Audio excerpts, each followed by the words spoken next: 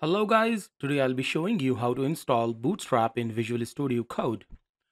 To do so, you need to go to the extensions and you need to install the Bootstrap 5 extension. You need to write Bootstrap 5 and you need to go with the top one because you can see that there are multiple extensions. You can go with any one but this one has 1.1 million downloads, the most of them uh, using this one. So I'm going with this one and I'm click on install once I do that, the Bootstrap uh, 5 quick snippets is installed.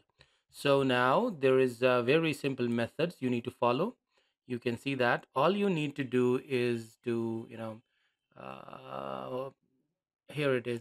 You need to you need to write these things to get the bootstrap in your file. So to start with, I'm going there and I got nothing. I'm just gonna write BS BS5 dollar dollar sign and I got the whole bootstrap. Like you can see that this is a bootstrap link and there is a bootstrap link and there is one. So we got the bootstrap here um, connected okay? Now if you need some snippet of the bootstraps for example you need to get the let's say you need the navigation bar.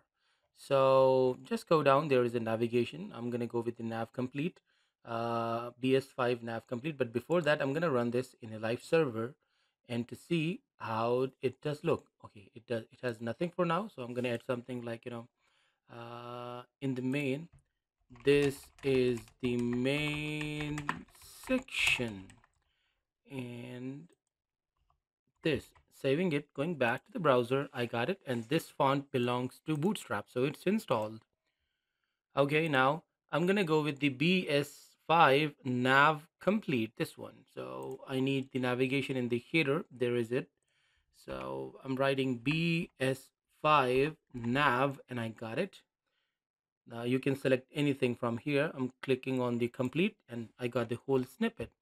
Saving it going back to the browser and there it is the whole navigation bar. Perfect